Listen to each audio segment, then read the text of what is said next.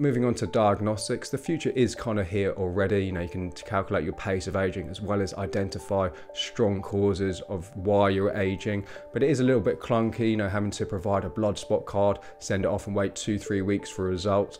I think in the future, they're going to have something similar to, you know, CGM, continu continuous glucose monitoring, but doing uh, monitoring for epigenetic aging. It's having the precision there to be able to pick up that change of rate of aging. At the present, you know, it can, it can be detected even a week of like methylation patterns, but something using like the Dunedin pace, it uh, there is a 4% tolerance in there. So that's why people generally do it like they say like eight weeks of positive changes. Some people like Bryan Johnson even do it monthly. Using blood spot cards will remain the norm for quite some time for doing a wide array of epigenetics, but doing a rate of aging, I think that will be able to be transmitted potentially over the cloud using some kind of continuous monitor or just requiring say just one drop of blood like with the glucose test